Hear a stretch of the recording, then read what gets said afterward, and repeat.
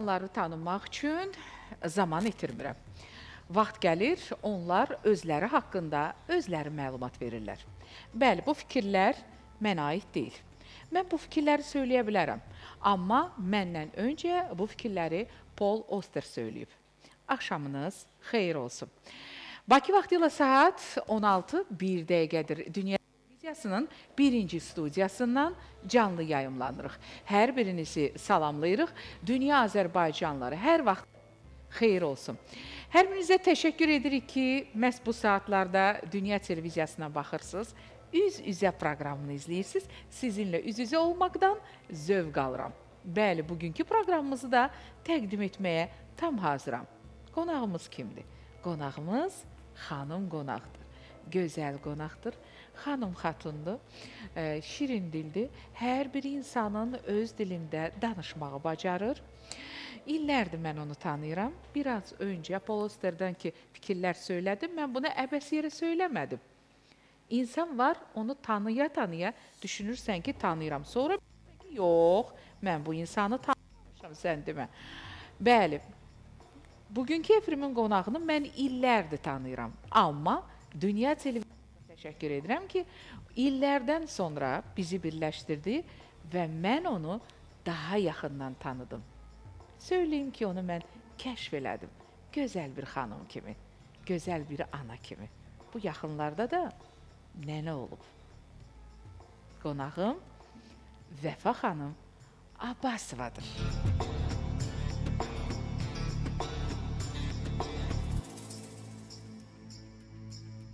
Xoş gəlmisiniz. Əyləşin. Necəsiz? Siz necəsiz? Təşəkkür Yaxşı. edirəm dəvət üçün. Ə, Bilirsiniz ki, Dünya televiziyası mənim üçün çox doğmadır. Hər zaman nə deyirsiniz? Bura mənim atam evidir. Ə, və mən sizə və ə, birinci növbədə Ramiz müəllimə, rəhbərliyə və sonra sizə təşəkkür edirəm ki, tez-tez bizləri televiziya tamaşaçıları ilə görüşdürürsünüz və burada olmağımdan çox məmnunam. İcazənizlə sizi televiziya tamaşaçılarına təqdim edim. Buyurun. Tanıyan tanıyır. Siz həm teleekspertsiz, amma ə, istərdim televiziya qanunlarına riayət edim. Siz ki üz-üzə proqramındasınız, mənimlə üz-üzəsiz. Tamaşaçılarımız da bilsin ki, bu gün Könül Həbib qızı ilə üz-üzə olan şəxs kimdir. Hörmətli televiziya tamaşaçıları, qeyd etmək istərdim ki, üz-üzə proqramına baxırsınız və bugünkü proqramımızın qonağı Respublika Qadınlar Cəmiyyətinin sədr müavini Vəfa xanım Abbasovadır. Vəfa xanım həm teleekspertdir, həm psixoloqdur, həm qadın hüquqlarının müdafiəçisidir.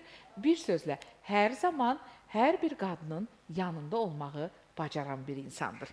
Vəfa xanım, mən sizi belə təqdim etdim. Bəs siz özünüz özünüzü necə təqdim edərdiniz? Mən sadəcə olaraq özümü Vəfa Abbasova cəmiyyət üçün yaralı olan bir xanım kimi. Çox gözəl. Vəfa xanım ana, Vəfa xanım nənə. Hansı sizə daha yaxındır?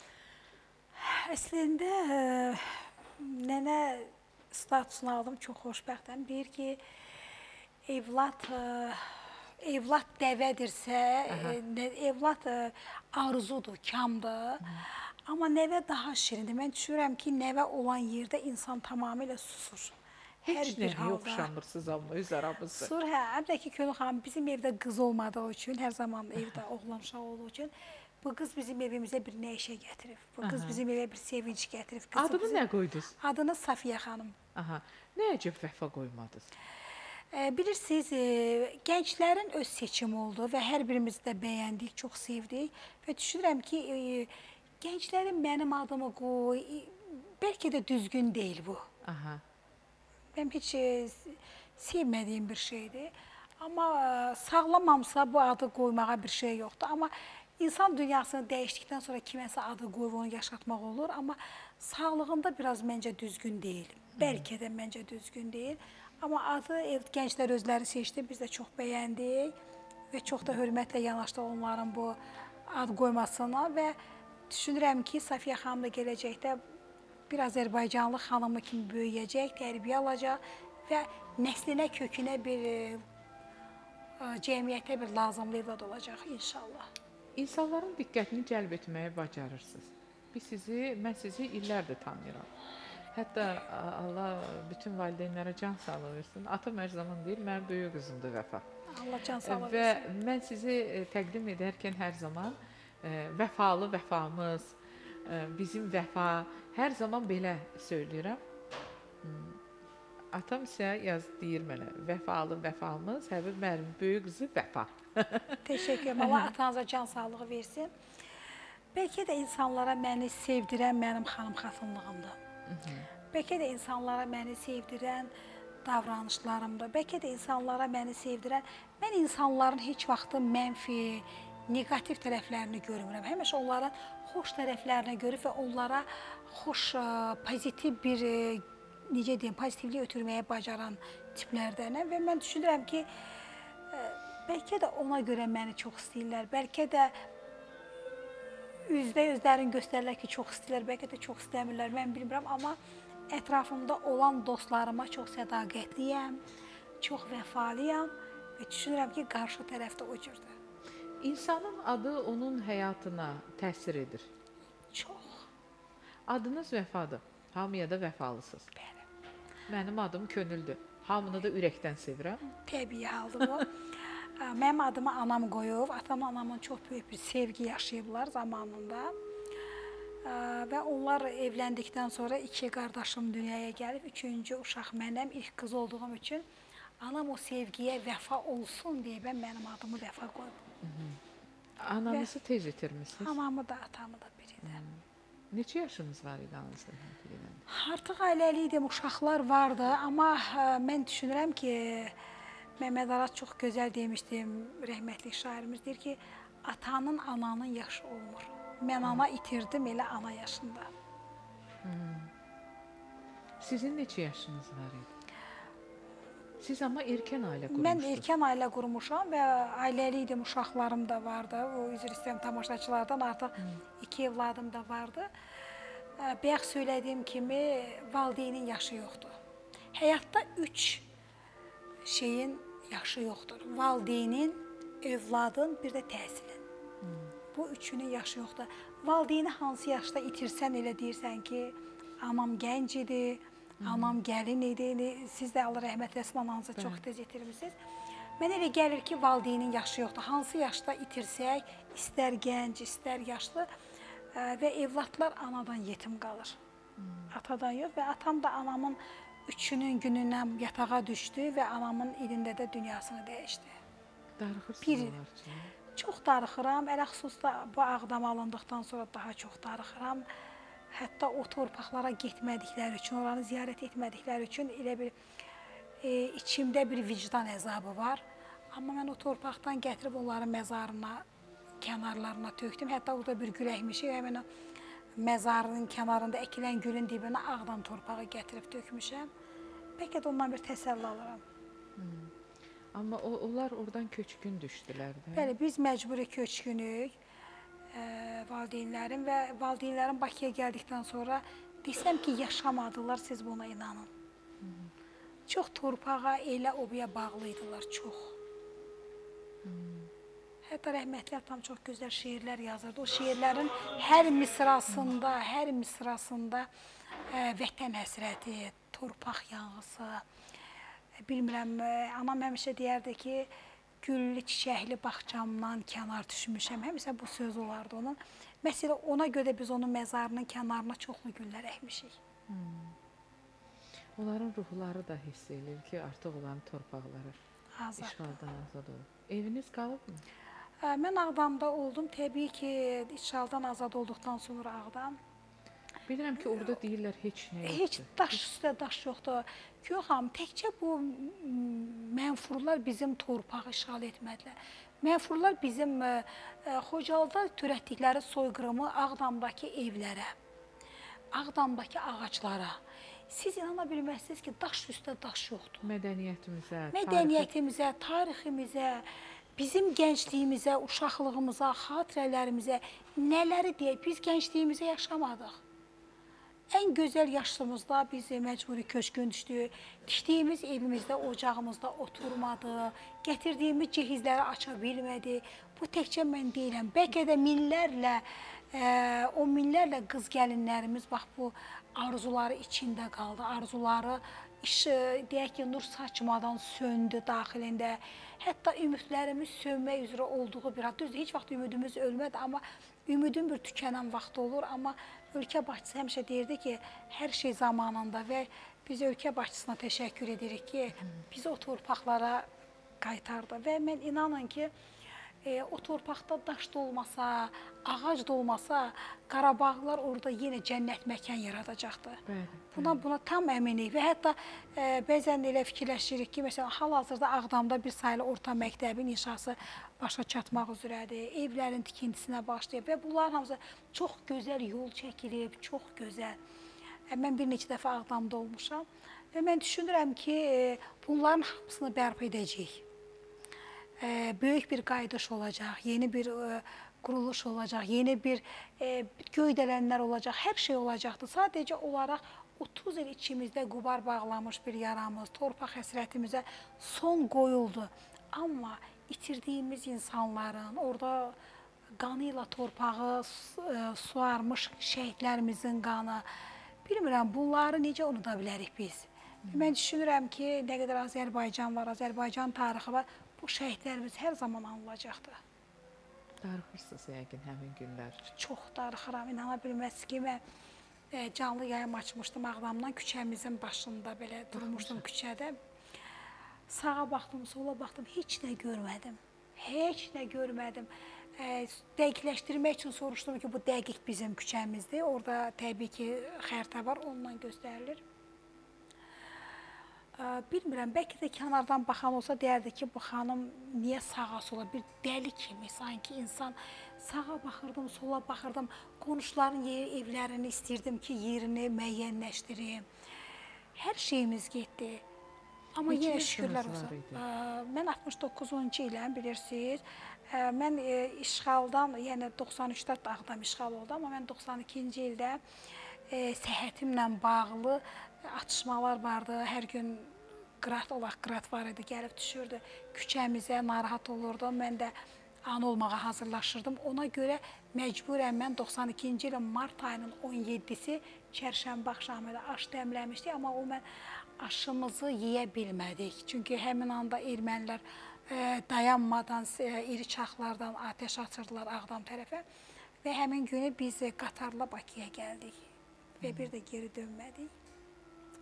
Və mən təkrarən e, uzun illərdən sonra 17-si martda mən e, 17-si avqust idi səhv eləmirəmsə mən yenidən Ağdama getdim.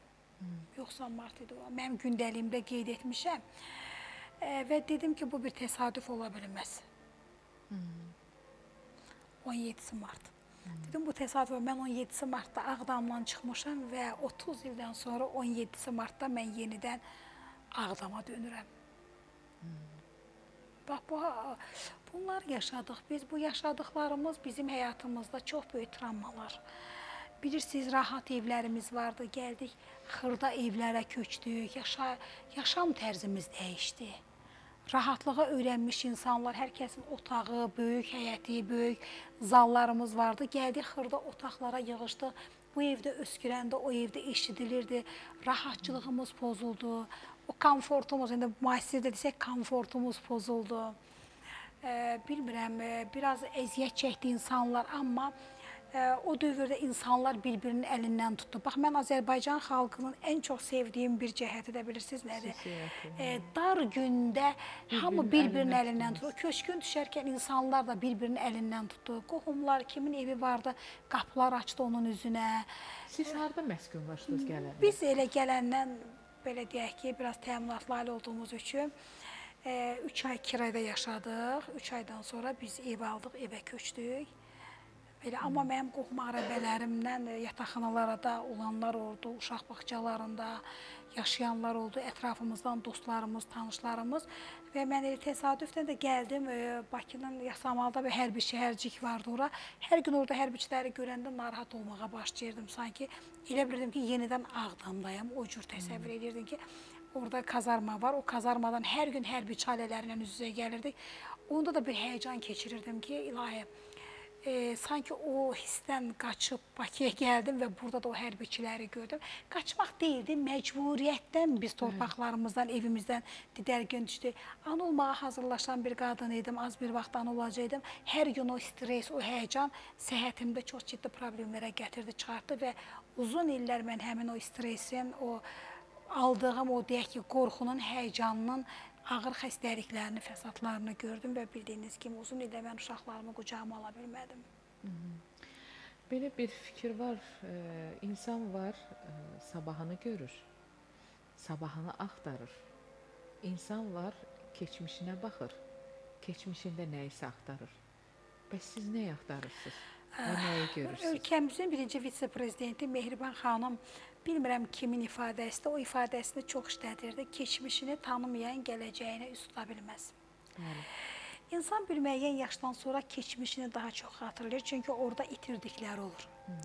Tutaq ki, atalı, analı günlərimizi, uşaqlığımızı, bu illərə dönürük. Müəyyən bir yaşdan sonra, hətta mən deyərəm ki, 50 50-dən sonra insanlar daha çox qohum, əqrəbiyə bağlılığı yaranır.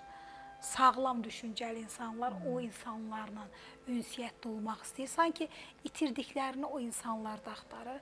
Amma təbii ki, bir insan sabahına baxa bilmirsə, o heç bir vaxt irəliyə doğru gedə bilməz. Bəli. İnsan bugününü də, insan keçmişini, bugününü, sabahını mütləqdir ki, özündə ə, onu görməlidir. Keçmişini unudan doğrudan da gələcəkdə rahat ola bilməz. İnsan keçmişini unutmamalıdır. Mən e, bir dəfə sizə bir şey danışım. Mənim uşaqlıq dostum vardı, Aygün adlı. E, Onlar e, Bərdədə dəmir yolda vaqonlarda yaşayırdılar. Mən artıq üzə sizinlə bərabər Azərbaycan Dövlət Televiziyasında işləyirdik. O vaxtı bu Azəri qızı Günelin qardaşı Tunarın e, Amin mahnısına bir klip çəkilmişdi. Onunla bağlı biz əskərlərlə görüş üçün Ağdama getdik çəkiliş eləməyə və bir böyük də yardımlar apardıq. Və mən dedilər ki, bu yardımın dedim birini mən Aygünə tapıb onlara verəcəm. Dedilər ki, bu qatarda, bu vaqonlarda biz nə bilək ki, bu harda yaşayır. Dedim ki, mən bir dəfə uşaq vaxtı onun paltarını geyinib toya getmişdik. Biz çox taytışıydıq. Ə, o paltardan mən almamışdılar mümkün, onu başqa cürəsini almışlar. Mən imin o istədiyimi almamışlar. Mən deyirəm ki, o mənim uşaqlıq dostum. Hətta mən buradan utanmadan da deyirəm ki, o mənim dostumdur. Biz bir yataqda yatmışdıq, biz çörəyimizi bölmüşdük, sirlərimizi bölüşdürürdü. Hətta rəhmətli onun həyat yoldaşı məhəlləyə gələndə mən gedib xəbər verdim ki, ə, səni istəyən oğlan məhəllədədir. Yəni o illəri o qədər xatırlayıram ki, mən yenə gedəndə ora bir dəfə dedilər ki, get qonaq evində qal. Dedim, yox, mən gedib o qatarda, e, vaqonda Aygüngillə qalacağam. Yəni insan gərək keçmişini unutmasın. İnsan e, yaşadıklarını unutmasın. Bugün biz xoşbəxt ya Zeynalabdin Tağıyevin qızı acından öldü. Dünyanın ən zəngin milyonçularından biri idi. Biz gəlin bunu xatırlayaq. Zeynalabdin Tağıyev ac idi, yəni deyək çox kasıb bir adam idi. Birdən-birə zənginləşdi. Demək, Rəbbimin əlində, normal ağlın, düşüncənin əlində pul qazanmaq da mümkündür, yaşamaq da. Bir dəfə Zeynalabdin Tağıyevə sual verirlər ki, nə qədər xoşbəxtsən, e, bir gün Şveysariyada gedirsən, çörək yeyirsən, bir gün Fransada. Deyir ki, kaşka bu qədər pulum oluncaq, ağıllı iki evladım olaydı. Mən hərdən düşünürəm ki, e, keçmişimizi yaşadıq. Unutmayacaq təbii ki. Amma gələcəyimizdə evladlarımız var, nəvələrimiz olacaq çoxlu-çoxlu. Elə yaşayaq ki, onlar bizə görə utanmasınlar. O sabahı o qədər aydın görək ki, o aydın sabah bizim evladlarımızın yolunda aydınlı olaraq getsin və o yol, o cığır onların heç tükənməsin. Hər zaman aydın olsun. Vəfa xanım, ə, mən sizi neçə illər tanıyıram və sizi güclü bir xanım kimi tanıyıram. İki ali təhsiliniz var, həm jurnalist, 3. 3 ali təhsilim var. Əvvəlcə jurnalistika A, bəli, bəli, qurtarmışam. bəli, bəli. Sonra ə, İqtisad Universitetini qurtarmışam. psixologiya. ə, Psixologiyanı və klinik psixologiyanın magistraturasını da bitirmişəm və ə, bildiyiniz kimi biz ə, xaricdə qurtardığımız üçün mən Azərbaycan Təhsil Nazirliyindən də Elm və Təhsil Nazirliyindən də şəhadətnaməmi artıq almışam. Təsdiqlənib ki, mən həqiqətən də bu sahələrin ə, normal tələbələr kimi oxumuşam. Yəni təsdiqlətmişik diplomlarımızda. Nəyə görə bu sualı verdim? Sizi mən güclü bir xanım kimi tanıyıram. Siz ailə qurarkən səhv etmirəmsə sizin təhsiliniz Yarımçıq ailə qaldı. yarımçıq qaldı. Ailə qurandan sonra nəinki davam etdirdiniz? Siz hələ növbəti universitetə daxil oldunuz. İllər keçdi, artıq böyük uşaqlarınız vardı, yenə də oxumaq istədiniz. Sizcə bu nədir? Bu deməkdir ki, inkişaf eləmək istəyirəm. Mən sabahımı düşünürəm. Mən güclüyəm, mən Ə, Bunun psixoloji bir yanaşması var. Bu bir natamamlıqdır. Nə deməkdir? Mən e, illərlə qurduğum bütün xəyalları ailə qurduqdan sonra sanki əlimdən aldılar. bu bir natamamlıq bir yarar- psixoloq kimi peşəkar fikriniz. Bəli, bəli, bu 100% bu bu cürdür. Natamamlıq yarandı mənim bu sahəyə bir natamamlıq. Mənim bu yaşda da məni qınamaslar mən yenə təhsil alaram. Utanmadan auditoriyada oturub təhsil alaram. Çünki bu natamamlıq da olmadı. Düşünün ki, bir ac insan gəlir oturur ki, artıq yarpaq dolmasından gözəl dolma bükülüb. Hə. Ac adam gəlir oturur, dolma onun qarşısına gəlir. Onu əlinə uzatdığı zaman o boşqabı onun qarşısından çəkilir. O insan hansı vəziyyətdə qalır? Bax, təhsildə də budur. İllərlə əziyyət çəkdim, oxudum, oxudum, orta məktəbi çox yaxşı qurtardım ə, və ailəyə görə təhsilimi yarımçıq qoymaq məcburiyyətində oldum. Valideynlərim dedi ki, oxumayacaqsan, ailə qurursan, artıq bitdi. Və ona tamamlıq da məni bu üç universitetdə oxumağa vadar etdi. Hətta o içimdə hələ o boşluq dolmayıb. Eyni zamanda da həmin dövrdə bu torpaqların işğal olunması, bir-birinin ardınca torpaqlarımız əldən gedirdi, ölkədə olan narahatçılıq, bunların hamısı təsir edirdi. Təsir edirdi. İnsan istəyirdi ki, nə isə bacarsın, onu dövlətə, ölkəyə, millətə dəstək ola bilsin. Bunlar çox əhəmilidir. Ə, Mən ə, ümumiyyətlə ə, hüquqşünas olmaq istəyirdim. Məhəbbət Dəmirçiyeva da mənim müəllimim olub zamanında. Ə, Və sonradan ə, fikrimi dəyişdim ki, yox, mən jurnalistikada özümü sınayacağam. Bəlkə də o müharibənin o fəsadları idi. Carçı olmaq Carçı istəyirdi. olmaq istəyirdi. Və uzun illər də sizinlə bərabər Azərbaycan Dövlət Televiziyasında çalışdım. Nə az, nə çox 21 il. Və sonradan ə, sahəmi dəyişdim. Səhhətimdə olan problemlərlə bağlı. Həkimlər dedi ki, bu qədər işıqların altında işləmək olmaz. Ə, Bilirsiniz ki, televiziya istər-istənməz enerji blokları ilə zəngindir. Ona görə də ondan sonra Xüsusilə də Azərbaycan Azər, televiz- bəli. Sonra mən e, Prezident İnfo və bizim dövr jurnallarının təsisçisi və baş redaktor oldum. Heydər Əliyev Fondunun gördüyü işlərin təbliğatı ilə məşğul oldu və eyni zamanda təhsilimi artırdım. Bir arada biznes işini də həyata keçirdim eyni vaxtda. Və psixologiyada özümü daha rahat hiss etdiyim üçün mən bu sahədə qalmağı düşündüm və Nə qədər xoşbəxtəm ki, mən bu sahəni seçdim və bu sahədə qaldım. Əgər mənə desələr ki, yenidən dünyaya gəlsən hansı sahəni seçərdim, mən təbii ki, psixologiyanı seçərdim. Vəfa xanım, hmm, güclü xanımsız bunu yenə də söyləyirəm. Gözləriniz tez-tez mi yaşardı, tərlədi? Bilirsiniz, e, mən sizin efirdə bir dəfə ağlamışam, təkrar ağlamaq istəmirəm. E, İnsan e, itirdikləri üçün darxanda gözlər yaşarır, amma mən onu ən çox gecələr sakit bir musiqi sədaları altında ya da paltar ütüləyərkən həzin bir musiqilər qoyuram, mən o musiqilərin altında ağlaya bilərəm. Bu musiqi ürəyinizcədir. Çox ürəyimcədir, hətta məni çox rahatlaşdırdı. Akşın Əlizadənin Hüzn valsi. Hə, çox gözəldir. Hətta dinləyək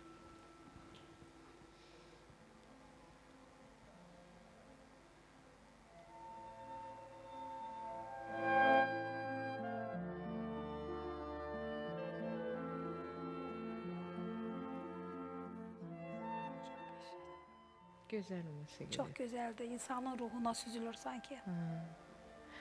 Söylədiniz ki, e, gecələr istəmirəm göz yaşımı kimsə görsün. Kimsə görsün və bilirsiniz, mən uzun illər xəstə olduğum üçün, yataqda olduğum üçün, evlatlarımı qucağıma ala bilmədiyim üçün, hətta valideynlərimdən, həyat yoldaşımdan, bacımdan, qardaşımdan, baldızımdan belə utanırdım ki, kəşkə mən də bir uşaqlarımın əlindən tutub bir yerə gedə bilərdim. Bütün e, nəsil kök deyə səfərbərliyi altında mənə diqqət ayrılmışdı. Və şükürlər olsun ki, mən ayağa qalxdım. Mən o vaxtlar çox ağlayardım. Və sonra mən dedim ki, ölümün gözünə dik bax baxacağam və mən O diaqnozu sizə qoyulanda, o diaqnoz çox qoyulanda, cavan idim. dedilər 20 sizə ki, sizdə ə, Hmm, Bəli, qan 23 xərçəngidir. Bəli, 23 yaşım var idi. 22 yaşımdan xəstəlik, daha 21 yaşımdan xəstəlik özünü göstərməyə başladı. Leykoz. Hə, Limfogramatoz. Amma biz e, o vaxt bunun fərqinə varmırdıq, anlamırdıq nə deməkdir. Çünki indi xəstəliklər bəlkə də sosial şəbəkələrdə insanlar araşdırır. O vaxt heç mahiyyətini bilmirik, başa düşə bilmirdik ki, bunlar nəyi deyir bizə. E, sonra mənim dayım bu xəstəlikdən dünyasını dəyişdiyi üçün bu xəstəlik mənə o vaxt ona ağ qan, qırmızı qan diaqnozu qoyulmuşdu və mən ilk dəfə İsraildə bu diaqnozu eşidəndə mən rəhmətli dayımın ölüm səbəblərini araşdırdım və həmin xəstəliyin limfogramatoz olduğunu bildik.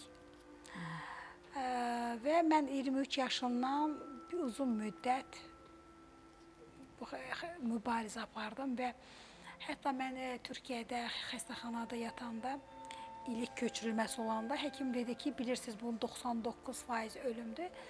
Dedim, hocam sən Allah deyilsən. Canı verən Allahdır. İnşallah mən ayağa qalxacam. O anda uşaqlarımı düşünmürdüm. Artıq valideynlərimin dünyasını dəyişmişdi. Mən bacı qardaşımı valideynlərimdən bir öhdəlik almışdım ki, bacı qardaşlarımı yerbəyer edəcəm. Dedim ki, mənim bacı qardaşlarım məni gözləyir. Heç inanın ki, uşaqlarımı o anda düşünmədim mən. Və sonradan hocam mən oyanandan sonra bir neçə gündən sonra gəldi, əllərimdən öpdü. Dedi ki, mən bəlkə də ilk xəstə idi ki, bu qədər onunla rahat şəkildə, e, yəni tələsik yox da bunu daha rahat işləyim deyə bu prosesdə daha çox diqqət göstərdim. Sən mənə bir həyat dərsi keçdin. Dedim, hocam, nədən söyləyirsiniz?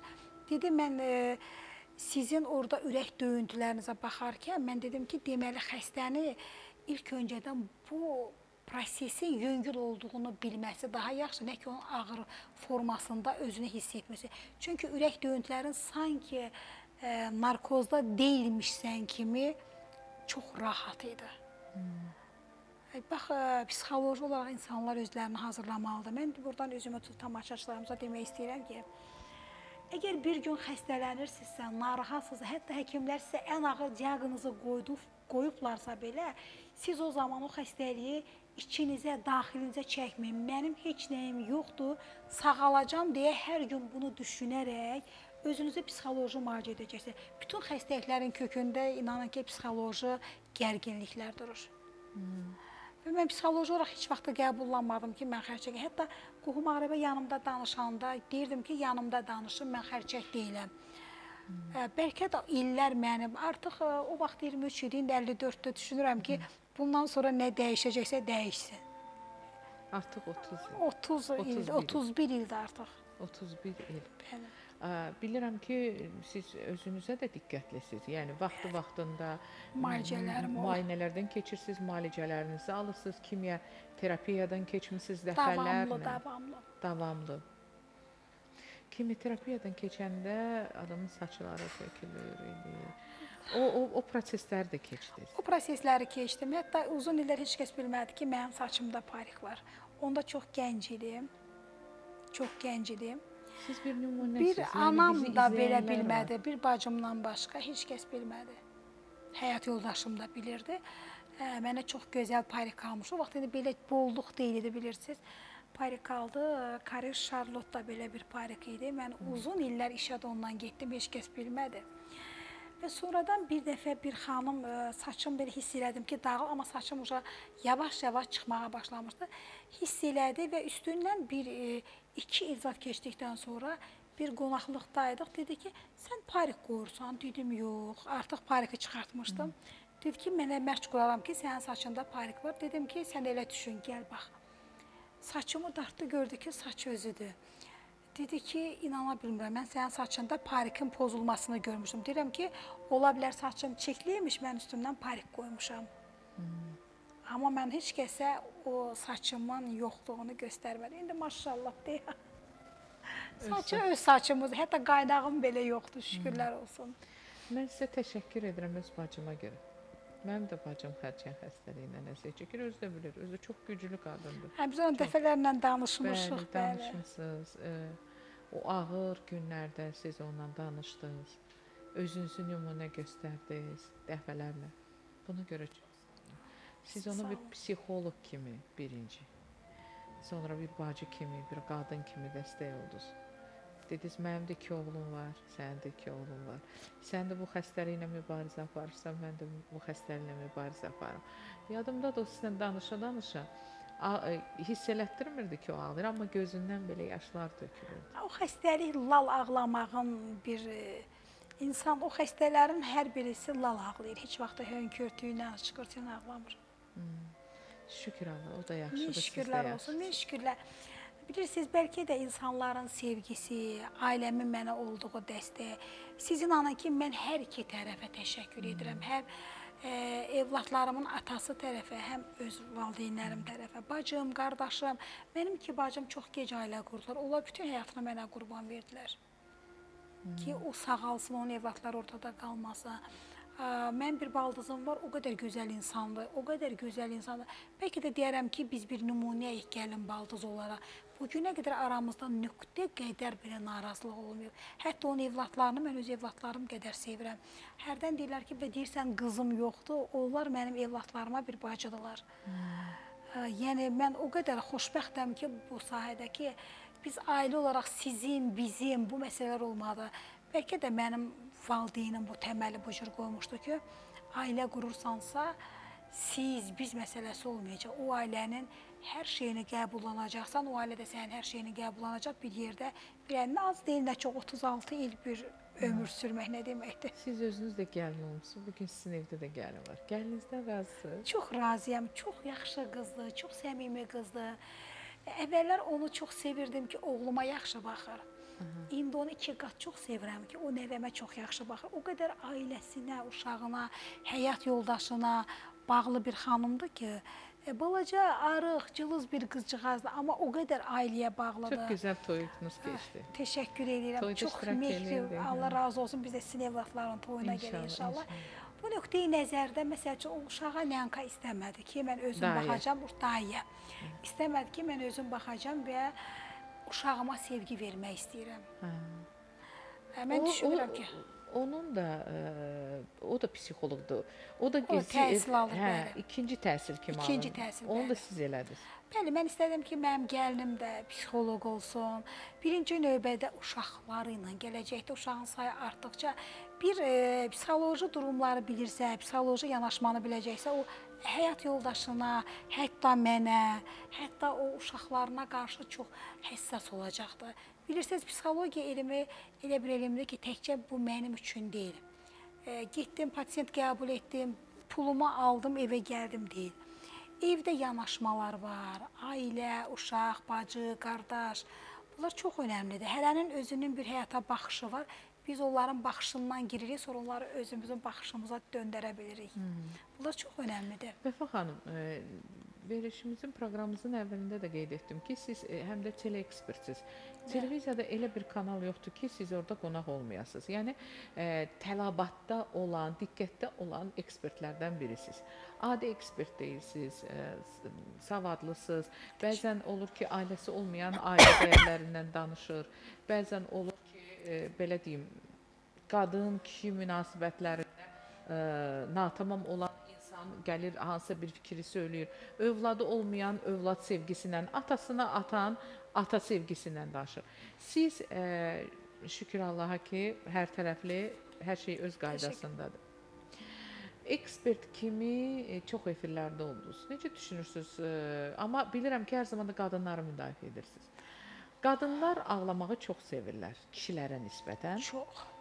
Hər qadının göz yaşına inanmaq olarmı? Siz qadınların göz yaşına inanırsınızmı? Mən əvvəlcə orada bir fikir işlətdiniz, ona yanaşım. Dediniz ki, bəzən ailəsi olmayanlar ailədən danışır.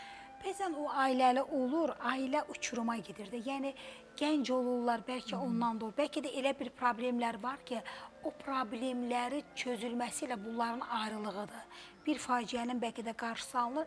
Yəni bir həyat keçmiş insan ola bilər. E, bir də ikinci bir şey söylədiniz ki, uşağı olmayan. Mən sizə bir şey deyəcəm. Ə, Mənim bacılarım, ə, bir bacımın evladı yoxdur. Onun uşaqlara qarşı həssaslığı məndən çoxdur. O uşaqlar baxanda böyük oğlanlar, bizə balacanın artıq 31 yaşı var. Mənim oğlanlarım baxanda o bilir ki, onlar nə istəyir. Öncədən mənə dedi ki, "Ba, bu budur, indi görəcəksən." E, bəzən uşaq dünyaya gətirmir, amma o qədər onun içində bir uşaq sevgisi olur ki, e, onlar bizdən daha çox, daha gözəl, daha aydın uşaqları seçə çoxluq bilir. eləmir də, çoxluq faizlə Hə, götürsə. faizlə götürə çoxluq bilərik, amma bir şey deyim ki, e, telekspert olmaq üçün bir həyat təcrübəsi çox önəmlidir. Bəli. E, siz dediniz ki, qadınlara, mən bəzən qadınlar ağlayır, mən inanmıram. Hiss edirsiniz Biz yalançı onu, hə, göz yaşlarını. Onu elə bil ki, insan e, bilmirəm, bəlkə də bizim altıncı hissimiz oyaqdır, bəlkə də bədən dili onu göstərir. Onun mimikasının tez-tez dəyişməsi göstərir ki, bu yalançı ağlamaqdır. İnsanlara özünü e, məzlum kimi göstərmək filan, bu cür hallar çox olur. Amma mən e, televiziyalarda mən mənim adını çəkmək olar olmaz. E, mən bir kanalda Buyurun çəkə Hə, bilərsiniz. Space-də Amir Xəlilin verilişində bir qız gəlmişdi. Onun həyat yoldaşı çox zəngindir, xanımdan uşaq. Deməli bu qız 14 yaşında ailə qurub, 15 yaşında ana olub və ziyalı bir düşünün ki, bir tanınmış bir e, ekspertiz, yəni tibbi ekspertizanın rəhbərinin həyat yoldaşıdır və sonradan uşaqları onun əlindən alıb qadını tamamilə evdən çıxardıb. O qız ağlamağa çalışmırdı istəmirdi. Elə bir sanki qürurunu belə qorumaq istədi. Amma mən axırda dedim ki, qızım ağla rahatlaş. Bu hər dəfə ağlamaq istəyirdi, göz yaşlarını boğazında o deyək ki, qəhər olurdu, boğurdu. Və mən onda özümdən asılı olmayan ilk dəfə idi ki, mən bir e, şikayətçinin qarşı tərəfinə ağır cavab verdim. Bəlkə də özümü bir qadın olaraq. Mən ona dedim ki, siz bunun 14 yaşında uşaqlığını aldınız əlindən. 14 yaşında gəlinciyini aldınız. 15 yaşında gəncliyini aldınız. Müəyyən bir yaşdan sonra evladlarını aldınız. Xanımlığını aldınız. İndi də analığını əlindən alırsınız. Buna sizin haqqınız yoxdur. Mən onda o qadının göz yaşlarına o qədər inanırdım ki, sanki özüm danışmış kimi hiss eləyirdim onu. Belə hallar olur. Bəzən də görürsən ki, 5 dəqiqənin içində ağladı, qışqırdı, isterik vəziyyətə qoydu özünü, qarşısındakiləri da inandırmağa çalışır. Mən onda belə baxıram. Bir də aparıcılarımızdan biri ə, Tarix Əliyev.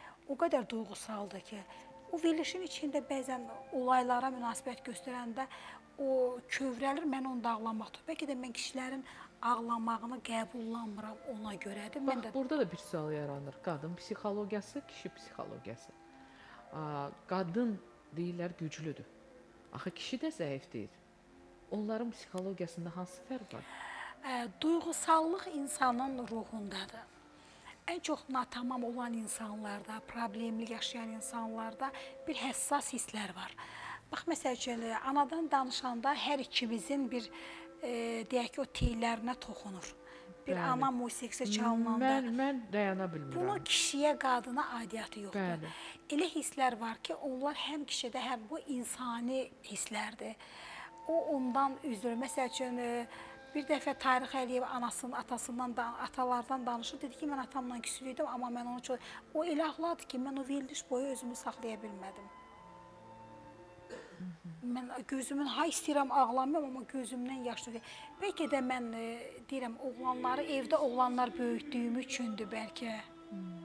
Bax nə gözəl musiqi səsləndi oradan. Gəl dinləyək. Yeşkin solmaz bahar Güler üzlü kara gözlü anam.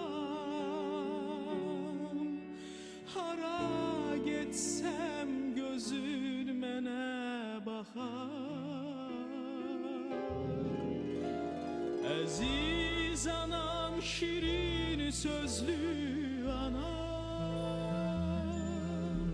Kalbini kömüre yeşkin solmaz bahar Güler yüzlü kara Gözlü ana. Heç vaxt bu mahnıya sakit baxa qulaq asa bilmirəm. İstərdim, bax görüm sizin də gözləriniz yaşar. İnsan zümzümə eləyir o sahar an olaraq.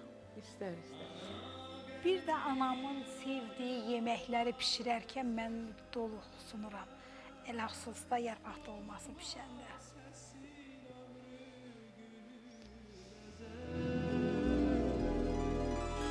Lay lay dedin ana Lay lay dedin mənə Həyat verdin mənə əziz ana Laylan hələ yaşar Laylan eller Bu həyatı bizə analarımız verib. Amma özləri az yaşadılar. Amma gəlin belə deyək ki, biz də kimlərəsə can Hə. verdik. E, deyir mən balamı sevirəm, balam balasını. Belə bir ifadə var. Onlar bəlkə də zamanından tez dünyalarını dəyişdilər ki, çirkablara batmasınlar. Onlara ananda belə ürək dolu sanaq. Mən bunların şahidiyəm belə olaylar var. Məsəl üçün tanıdığımız, bildiyimiz insan var deyir ki, kəşkə mənim anam öləydi, bu vəziyyətdə olmayaydı. Deyirəm o sözü demə. Sonra deyirəm ki, bəlkə də bizim valideynlər ona görə zamanında dünyasını dəyiş, vaxtından öncə dünyasını dəyişdi ki, onlardan kimsə bezmədi. Hə. Onlar xatirəmizdə saçları uzun, Bəli. saçlarının ortasında tağları olsun, güllü paltarları, sərgəli dırnaqları, tərtəmiz gül kimi. Mən həmişə onu fikirləşirəm. Deyirəm bəlkə də o bəlkə də o yaddaşlarda xanım xatın qalmaq üçün çox tez getdilər. Mənim də anam elə yaddaşımda qaldı. Allah rəhmət eləsin. saçları həmişə qaydasında, rəngli, Xınalı. həmişə dırnaqları tərtəmiz. Aç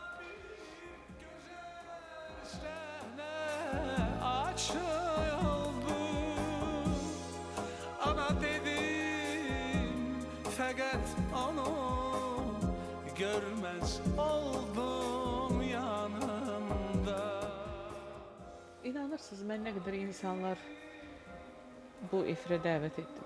Azərbaycan adlı sanlı ziyalıları, güclü insanları. Amma hamının içində arası bir nöqtə var ki, hansısa bir sözün onları Həssas. Ə, bəli, onları elə bil ki, o həssas nöqtəsinə toxunur. Həmişə bax belə gəzən insanlar olub ki, efirimdə o sözlə onlar göz yaşlarını saxlaya bilmirlər. Yox, amma hər kəsin bir dünyası var. Bir dünyası var. Hər Hamımızın kəsin bəli, burada saxladığı insanlara bəlli olmayan bir sevgisi var. Ailə sevgisi, ailə dəyərləri. Mən bilmirəm. Hər kəsin hardasa bir qaranlıq nöqtəsi var. Həssas bir yeri var.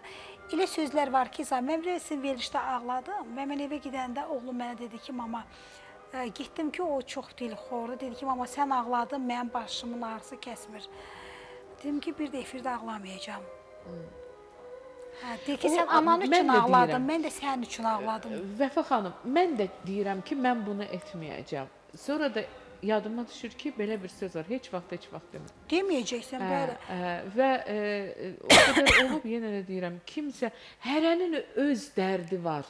Nə qədər də xoşbəxt olsan, hardasa bir qırıq yerin var. Təbii ki, e, bax indi siz ağladınız, mən ağlaya bilmədim. Mən onu içəri ötürdüyüm üçün bax qəhər məni boğdu. Amma gözləriniz yaşardı. Yaşardı, gözlərim yaşardı. Sadəcə olaraq Kənanıma söz vermişəm ki, bir də efirdən ağlamayacağam. Allah bizi Onu heç vaxt ağlatmasın. ağlatmasın. Bizim ancaq hər birimizə sevinç göz yaşları qismətdir. Amin, Necə ki, amin, amin, Safiyə amin. dünyaya gələndə mən yarım saat ağladım. Qışqıra qışqıra hönkür-hönkürə ki, ağlam. Mən də mən oldum. Bilmirəm. bilmirəm niyə ağlayırdım heç orasını da Mən bilmirəm. sizi təbrik edirəm Vəfa xanım. Təşəkkür edirəm, çox sağ olun. Ə, böyük balı olsun, xoşbəxt taleyli olsun. Nənəsinə, babasına, anasına, atasına layiqli bir övlad olsun. Azərbaycanımız üçün dəyərli bir vətəndaş olsun. İnşallah. Hər zaman deyir Azərbaycanın oğlu, qoy gözəl Azərbaycanın qızı olsun.